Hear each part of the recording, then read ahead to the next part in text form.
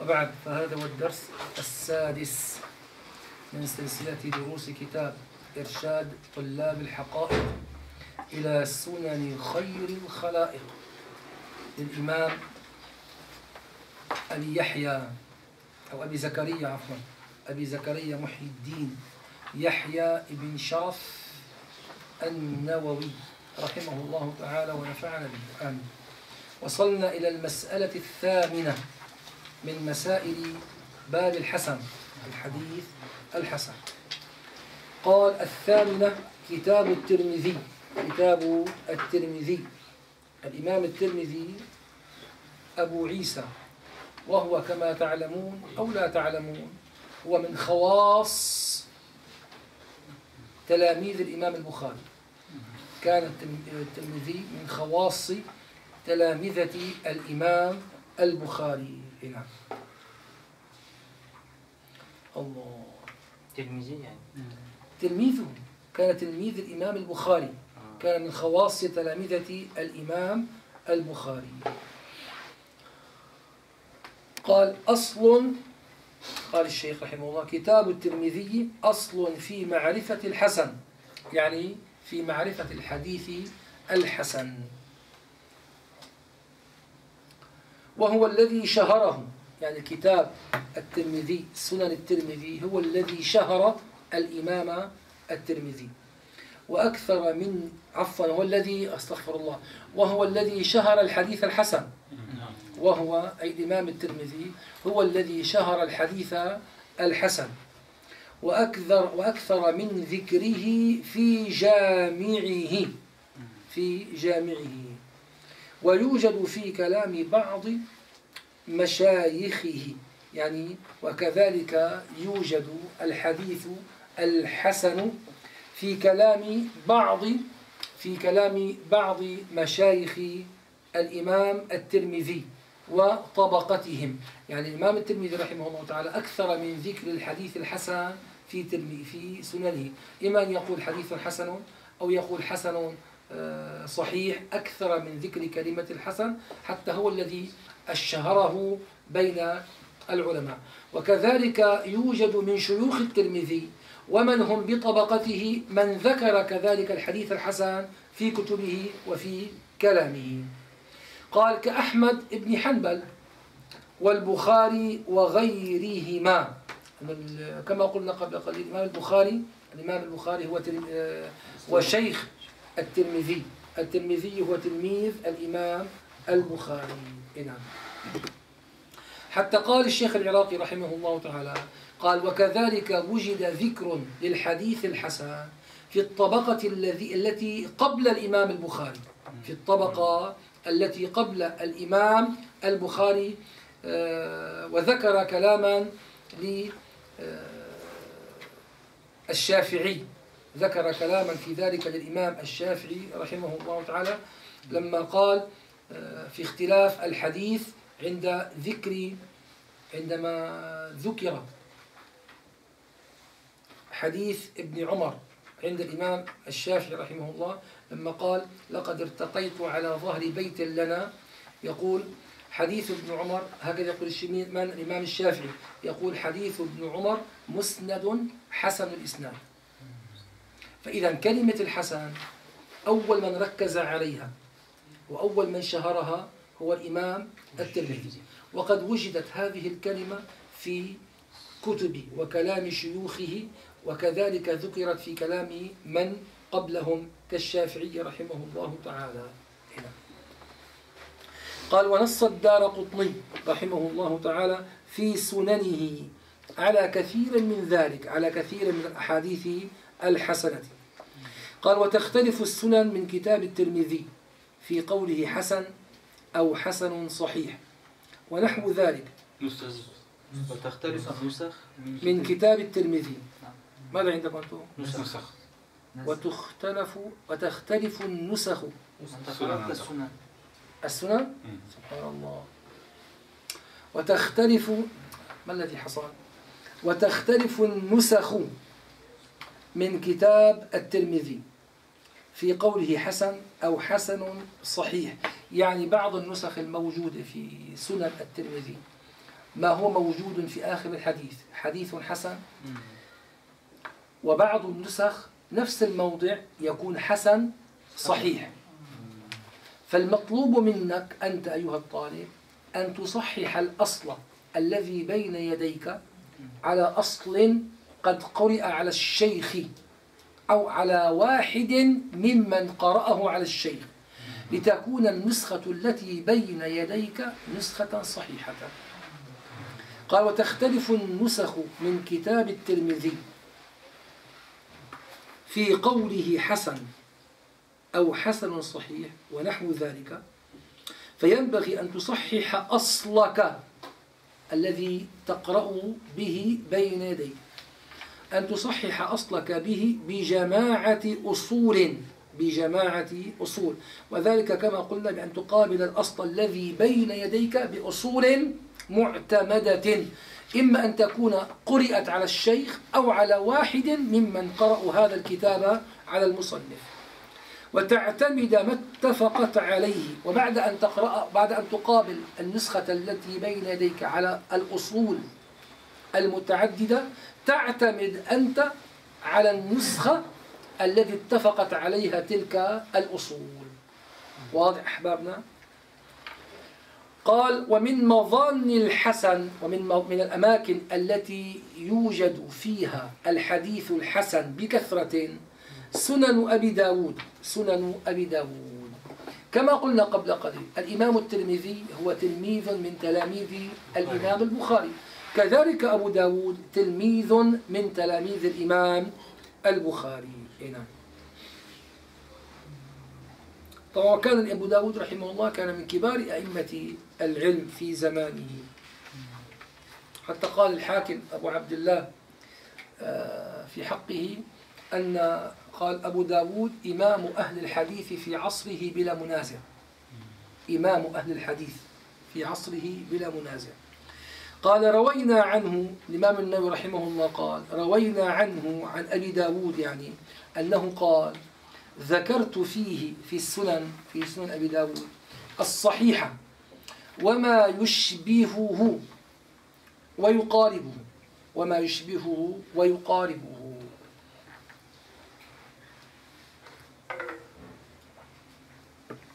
وفي رواية ما معناه وفي رواية ما معناه؟ أنه يذكر في كل باب أصح ما عرفه فيه. يذكر في كل باب أصح ما عرفه فيه. مما ينبغي أن يعلم أحبابنا أن الإمام أبا داود لما صنف كتابه صنفه وانتقاه من خمسمائة ألف حديث. من خمسمائة ألف حديث. واعتنى في كتابه لما قلنا بخمسمائة ألف حديث. طبعا عندما يطلق الحديث قد يرد الحديث من عشرة أسانيد. كل إسناد يسمى حديثا. كل إسناد يسمى حديثا. واضح الكلام أحبابنا؟ فأبو داود رحمه الله انتقى كتابه هذا من خمسمائة ألف حديث. فإذا هو كان يركز على الأسانيد التي يحتج بها الأحاديث المقبولة الأحاديث المقبولة. وركز أبو داود في كتابه على أحاديث الأحكام على أحاديث الأحكام. قال قال وما كان في كتابه. يعني أبو داود رحمه الله تعالى لخص منهجه لخص منهجه في كتابه السنن فقال وما كان في كتابي السنن فيه وهن شديد فقد بينته. يعني الحديث الذي فيه ضعف شديد قد نصصت عليه ولم أتركه هكذا هملا. قد أرحتك من عناء البحث في إسناد هذا الحديث. ولا وما لم أذكر فيه شيئا فهو صالح. صالح لماذا؟ للاحتجاج وللعمل به. إن لم يكن قد إن لم يكن قد ذكر آه، حكم الحديث في آخره. قال وما لم أذكر فيه شيئا فهو صالح وبعضها أصح من بعض. وبعضها أصح من بعض. يعني بعض هذه الأحاديث أصح من بعض. أبو داود رحمه الله لما قال وما لم أذكر فيه شيئا فهو صالح. اختلف آراء العلماء في تفسير قول أبي داود هذا في تفسير قوله وما لم أذكر فيه شيئا فهو صالح. هل يستفاد فيه أن أبا داود رحمه الله ما لم ينص على حكم إسناده؟ هل هو حديث صحيح أم هو حديث حسن؟ أنه قال أبو داود قال وما لم أذكر فيه شيئا فهو صالح. صالح للاحتجاج. وكلمة صالح للاحتجاج تشمل أن يكون الحديث إما صحيحا أو حسنا. فلذلك اختلفت آراء العلماء في بيان مراد أبي داود في هذا الكلام. نعم.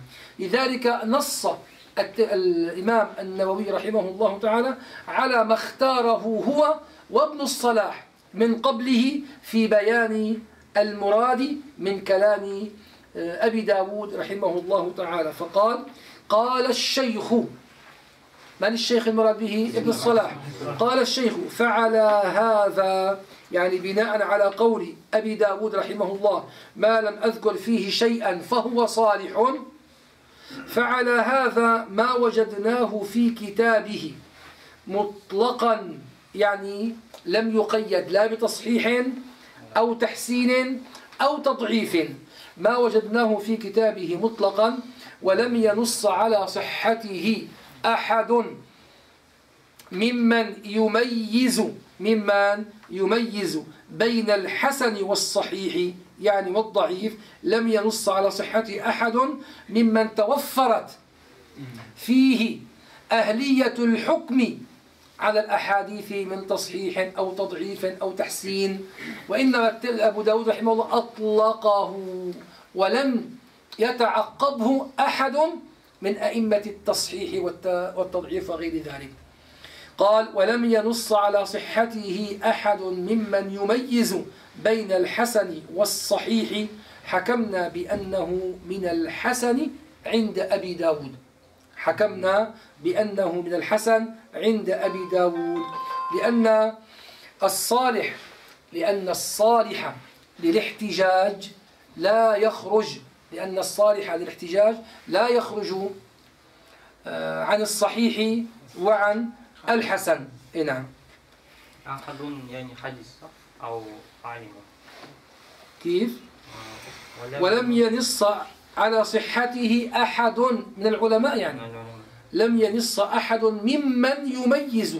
قلنا بين الحسن والصحيح حكمنا بأنه بأن هذا الحديث من الحسن عند أبي داود لأن كلمة الصحيح كما لأن كلمة الصالح كما قلنا ينطبق عليها تطلق على الحسن والصحيح يندرج تحتها هذان الوصفان. فالأحوط يعني الحديث الصحيح لا يثبت إلا بالتنصيص. هذه كلمة صالح وإن كانت هي صالحة لأن تطلق على الصحيح والحسن ولكن الحكم بالتصحيح لا ينبغي أن يكون إلا بالتنصيص. فلما فقدنا التنصيص على الحكم بالتصحيح في هذا الحديث الذي سكت عنه أبو داود الأحوط أن نحكم عليه بالأدنى الذي هو الحسن. لذلك قال الشيخ حكمنا بأنه من الحسن عند أبي داود. وقد يكون في بعضه يعني في بعض أحاديث سنن أبي داود وقد يكون في بعضه ما ليس حسنا عند غيره ولا داخلا في حد الحسن. يعني قد يكون هو حسنا في اصطلاح من؟ أبي داود حصرا. وقد يكون آه، ضعيفة في اصطلاح غيره في اصطلاح. ليه؟ لأن هذا كله يعتمد على ماذا؟ يعتمد على الحكم على الراوي. فهذا الراوي قد يكون مجروحا عند غير أبي داود. فنزل رتبة حديثه إلى الضعف. وقد يكون ثقة غير مجروح عند أبي داود. فجعل حديثه في رتبة الحسن. وذكرنا هذا الكلام أظن في الدرس الماضي. التاسعة كتب المساند. كتب المساند. المسند كما تعلمون هو الكتاب الذي تذكر فيه الأحاديث على ترتيب الصحابة رضي الله تعالى عنهم. وأشهر هذه المساند مسند الإمام أحمد. مسند الإمام أحمد. طبعا يذكر هذه الأحاديث وفقا للترتيب الهجائي. وفقا للترتيب حروف الهجاء. وقد وقد بعض أصحاب المساند آه، يؤلف المسند وفق ترتيب إسلامهم. يعني قد يتخذ منهج هو هو لنفسه. يعني مثلا مسند الإمام أحمد بن حنبل وفق ترتيب حروف الهجاء. فغيره قد يتخذ مثلا منهجا وفق الأشرف نسبا وفق الأقدم إسلاما وفق الأكثر تحديثا إلى غير ذلك. الله. قال طبعا أعلى الكتب المساند ما هي مسند الإمام أحمد ويليه في الرتبة مسند أبي يعلى. لا أبو داود سنن. مسند أبي يعلى الموصلي. نعم. وأفضل نسخة إن أردت أن تشتريها هي نسخة بتحقيق أبي يعلى. بتحقيق حسين سليم أسد. حسين سليم أسد. هذه أفضل نسخة. حسين. سليم. مسند مسند أبي يعلى. مسند أبي يعلى. ومن الترمذي من الترمذي هي نسخة محمود شاكر ولكنها نادرة جدا. محمود شاكر ومع مجموعة من من المحققين كذلك. أبي يعلى أبو يعلى. مسند أبي يعلى. حسن. حسين. حسين سليم أسد هو من سوريا موجود الآن بالإسكندرية. إذا حبتم أن تقوموا بزيارته ورجل كبير بالسن تجاوز الثمانين. اي نعم. إذا أحببتم أن تقوموا بزيارته نعطيكم عنوانه.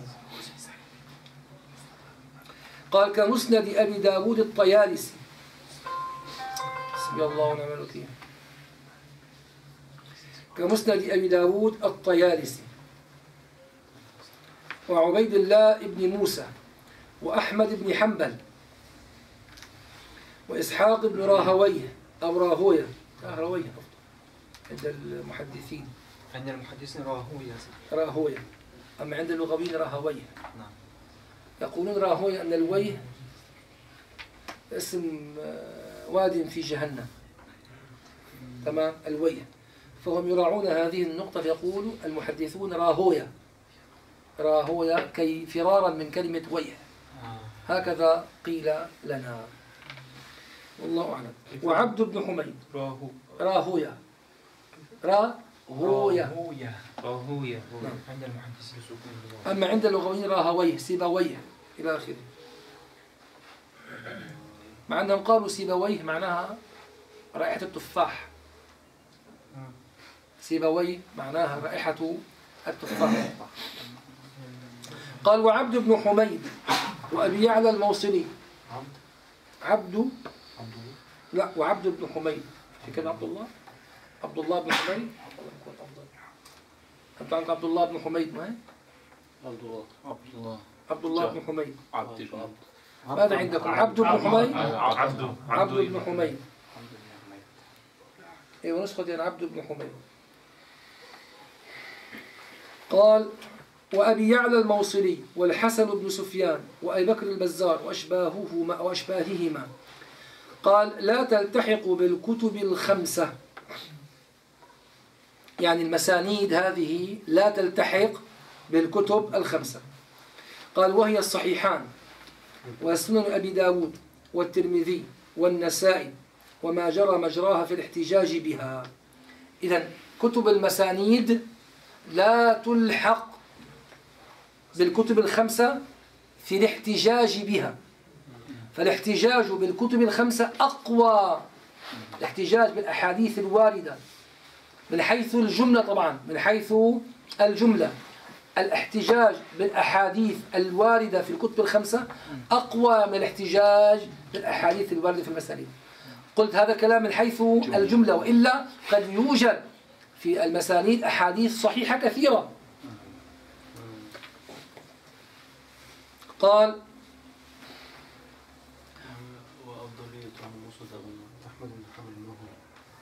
أفضل نسخة؟ لا أفضلية لماذا؟ أحمد بن حنبل. لأنه كان لأنه كان أعلاهم رتبة. من كل من كل كل من سأتي هو كان الإمام أحمد بن حنبل أعلى من جاء معهم ذكر ذكرهم أعلاهم رتبة. وفي الاحتجاج إيه. هلا في المسند الإمام أحمد حنبل في أحاديث ضعيفة وقال بعضهم فيه موضوع. فيه موضوع وفي تقريبا أكثر من ثلاثين ألف حديث. أكثر من ثلاثين ألف حديث. أن الإمام أحمد حنبل هو لم ي... لم آه، يعني آه، لم يقتصر على ذكر الحديث المقبولة في مسنده. هو كان يعني كان همه أن يذكر المرويات عن الصحابة. المرويات عن الصحابة. واضح الكلام حبابنا وكان همه أن آه، يذكر يذكر ترتيب الصحابة الكرام رضوان الله تعالى عليهم. غريب هذا الدرس اليوم.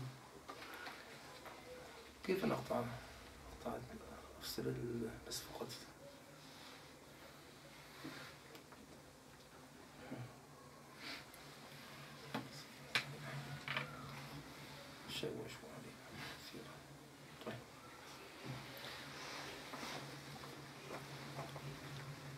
قال لا تلتحق بالكتب الخمسة وهي الصحيحان والسنن أبي داود والترمذي والنسائي وما جرى مجراها في الاحتجاج بها والركون إلى ما فيها لأن عادتهم في هذه المسانيد أن يخرجوا في مسند كل صحابي جميع ما رووه من حديثه صحيحا كان أو ضعيفا. إذا الغاية في كتب المسانيد هي جمع ما روي عن ذلك الصحابي بقطع النظر عن كونه محتجا به هذا هذا الحديث أو غير محتجا به.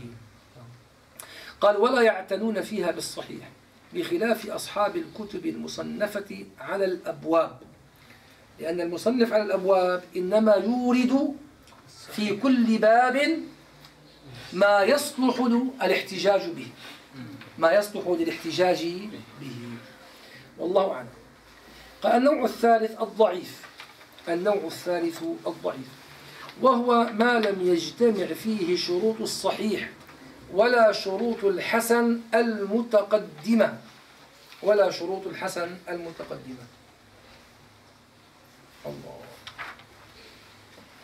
الشيخ رحمه الله تعالى الإمام النووي رحمه الله نلاحظ أنه في هذا التعريف لما قال وهو ما لم يجتمع فيه شروط الصحيح ولا شروط الحسن. جمع شروط الصحيح وشروط الحسن في تعريف الحديث الضعيف. وهو في ذلك يتابع ابن الصلاح يتابع ابن الصلاح. بعض العلماء بعض ال- ال- العلماء قال الاقتصار في تعريف الحديث الضعيف على عدم وجود شروط الحديث الحسن كاف بعض العلماء قال الاقتصار في تعريف الحديث الحسن على عدم وجود شروط عفوا ضعيف. الضعيف الاقتصار في تعريف الحديث الضعيف على عدم وجود شروط الحديث الحسن كاف لأنه ما لم يجمع شروط الحسن هو بالضرورة لا يجمع شروط الصحيح. أي نعم. الله. قال وأطلب أبو حاتم ابن حبان في تقسيمه يعني أكثر من ذكر أقسام الحديث الضعيف. فبلغ به خمسين قسما إلا واحدا. يعني تسعة وأربعين قسما. قال وما ذكرناه ضابط جامع. يعني من قوله الحديث الضعيف هو ما لم تتوافر فيه أو ما لم يوجد فيه شروط الصحيح ولا شروط الحسن. قال وما ذكرناه ضابط جامع. يعني جامع لجميع أنواع الضعيف. فلا حاجة لهذا التقسيم الذي قام فيه آه، آه، ابن حبان وغيره. قال فلا حاجة بعده إلى تنويعه. لا سيما لا سيما أن كثيرا من الأقسام التي ذكروها في الضعيف لا حاجة إليها لأن كثيرا منها لا يحتج به فلما يكون الحديث لا يحتج به لا حاجة لتقسيمه. لأن الغاية من التقسيم هو بيان درجة الاحتجاج به. فإذا كانت أربعين أو خمسين أو ستين قسما وكلها لا يحتج بها. فما هي الثمرة المرجوة من هذا التقسيم؟ فهو يعني لا, لا, لا ثمرة له كما قال كثير من العلماء. قال وتتفاوت درجاته درجات الحديث الضعيف. تتفاوت درجاته في الضعف في الضعف بحسب بعده من شروط الصحيح. كما اختلفت درجات الصحيح. أراد بهذا الكلام أن يبين لنا أن بعض الحديث الضعيف أشد ضعفا من بعض. وذلك يختلف بحسب شدة ضعف الرواة الذين رووا هذا الحديث. فكلما اشتد ضعف الراوي ضعف حديثه. وكلما خفت أو خف ضعف الراوي خف ضعف الحديث. كما أن الصحيح كما أن الحديث الصحيح بعضه أصح من بعض. الحديث الصحيح كلما آه، قويت أو ازدادت آه، ازداد الرواة. شروط الرواية عنهم من الثقة والضبط والإتقان والحفظ والتقوى وغير ذلك علت رتبة الحديث وكلما خف كذلك خف الحديث. لذلك قال تتفاوت درجاته في الضعف بحسب بعده من شروط الصحيح كما اختلفت درجات الصحيح. إيه نعم. الله. لذلك قالوا على سبيل المثال قالوا أوهى أسانيد أضعف أسانيد أبي هريرة السري بن إسماعيل عن داود بن يزيد الأودي عن أبيه عن أبي هريرة. هذا أضعف الأسانيد التي روت عن سيدنا أبي هريرة. إذا كل صحابي على الغالب هناك أصح الأسانيد عنه وهناك أضعف الأسانيد عنه. كذلك ذكروا من أوهى الأسانيد ابن مسعود قالوا شريك عن أبي فزارة عن أبي يزيد عن ابن مسعود. هذه أوهى وأضعف الأحاديث. عن ابن مسعود قال ثم منه ما له لقب خاص. منه ممن من الحديث الضعيف. ما له لقب خاص كالموضوع والمقلوب والشاذ والمعلل والمضطرب والمرسل والمنقطع والمعضل وغيرها. وسنعقد في كل واحد منها نوعا والله أعلم. قال النوع الرابع معرفة المسند. معرفة المسند. النوع الرابع يعني من النوع الرابع يعني من مطلق أنواع الحديث. النوع الرابع أيوة من مطلق أنواع الحديث. بمعنى بمعنى أن المسند قد يكون صحيحا وقد يكون حسنا وقد يكون ضعيفا. واضح الكلام أحبابنا؟ قال النوع الرابع معرفة المسند. قال الخطيب يعني الخطيب البغدادي أبو بكر. قال الخطيب البغدادي يعني في كتابه الكفاية في علم أصول الرواية أو في علم الرواية. منهم من قال في علم أصول الرواية ومنهم من قال في علم الرواية وحذف كلمة الأصل هذا الكتاب له أكثر من اسم. قال الخطيب البغدادي المسند عند أهل الحديث ما اتصل إسناده من راويه من راويه إلى منتهى من راويه إلى منتهى. أو إسناد إسناد. من راوي الحديث. راوي الحديث. إلى منتهى إلى منتهى. فشمل هذا الكلام فشمل الحديث المرفوع والحديث الموقوف والحديث المقطوع. إيه نعم. وهنا لا بد من الإشارة إلى أمر وهو أن آه، المراد بالاتصال هنا لما قال المسند عند أهل الحديث ما اتصل إسناده من راويه إلى منتهى. المراد هنا باتصال السند الاتصال ظاهرا الاتصال ظاهرا فيدخل فيه يدخل في المسند ما كان فيه انقطاع خفي. ما كان فيه انقطاع خفي. كأن يعنعن المدلس. كعنعنة المدلس. إيه نعم. أو كأن يعنعن المعاصر. لأنه ليس كل معاصر التقى بمن يعاصره. فأنا مثلا الفقير ع- عاصرت كثيرا من العلماء عندنا في الشام ولكني ما التقيت بهم.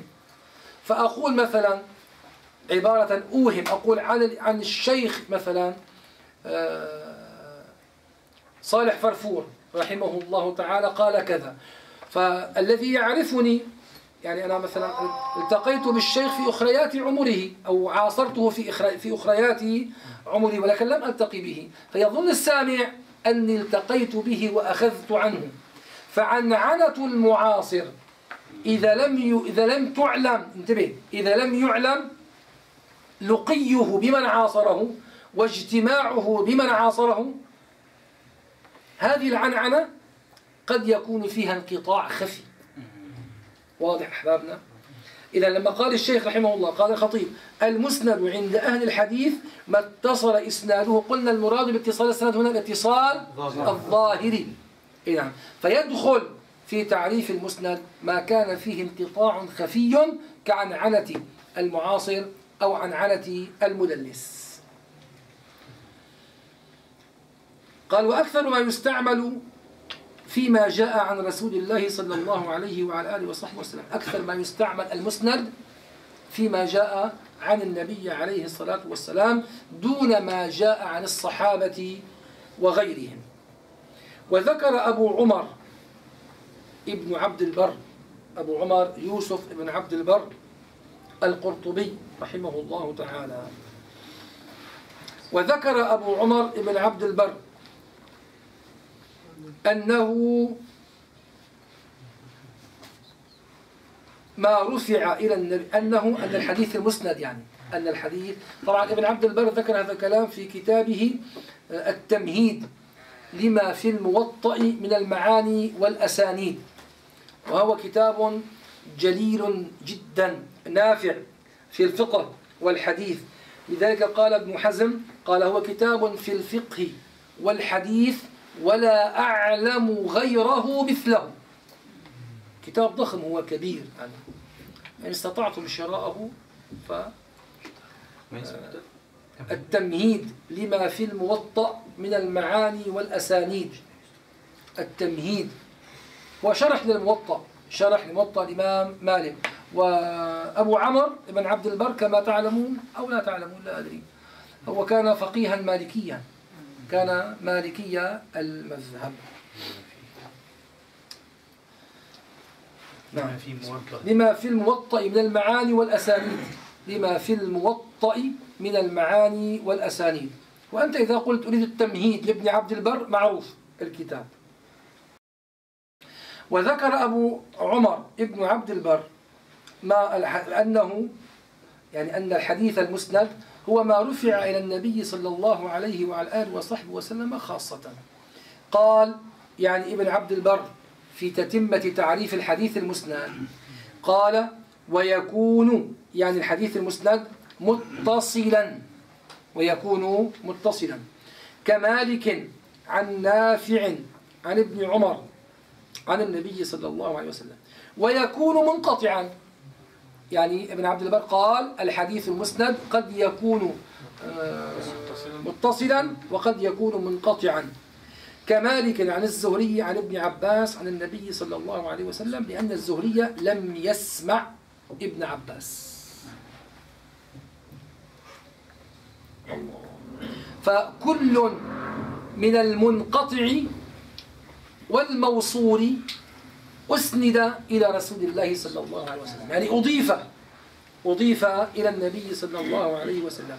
وعلى هذا القول الذي ذكره ابن ابن عبد البر يستوي يستوي تعريف الحديث المسند بتعريف الحديث المرفوع. يستوي المسند والمرفوع. يستوي المسند والمرفوع. اي نعم. لأن المرفوع هو ما أضيف إلى النبي صلى الله عليه وسلم. وقال الشيخ ابن عبد البر المسند قد يكون متصلا وقد يكون منقطعا فهو لاحظ في المسند الإضافة أنه معنى الإسناد الإضافة فهو لاحظ معنى الإسناد الذي هو الإضافة فقال المسند هو المضاف إلى النبي عليه الصلاة والسلام سواء كان متصلا أو منقطعا. وحكى أبو عمر يعني ابن عبد البر كذلك عن قوم أن المسند لا يقع إلا على ما اتصل مرفوعا إلى النبي صلى الله عليه وعلى آله وصحبه وسلم. وحكى عن قوم أن المسند لا يقع إلا على ما اتصل مرفوعا إلى النبي صلى الله عليه وسلم. وبهذا وبهذا إيش يعني بهذا؟ يعني وبكون المسند. وبهذا وبكون المسند لا يقع إلا على ما اتصل مرفوعا إلى النبي صلى الله عليه وسلم. قطع الحاكم أبو عبد الله في معرفة علوم الحديث في كتابه علوم في معرفة كتابه معرفة علوم الحديث. كذلك وكتاب في المصطلح. قال فهذه ثلاثة أقوال في حده يعني في تعريف الحديث المسند. والله تعالى أعلم. طبعا المعتمد والمشهور من هذه الأقوال الثلاثة في تعريف المسند هو ما اتصل سنده مرفوعا. هو ما اتصل سنده مرفوعا إلى النبي صلى الله عليه وعلى آله وصحبه وسلم وهو الذي اعتمده من؟ الحاكم. وهو الذي اعتمده الحاكم. ابن عبد البر قال المسند قد يكون متصلا وقد يكون منقطعا. ثم قال ابن عبد البر حكى عن قوم أن المسند خاص بالمرفع المتصل وهو الذي قواه الحاكم وهو الذي عليه الجمهور وهو الذي عليه الجمهور. إيه نعم. ثم قال النوع الخامس معرفة المتصل. نقف هنا والحمد لله رب العالمين. ربنا تقبل منا وعافنا واعف عنا واقبلنا واحفظنا بإسرار الفاتحة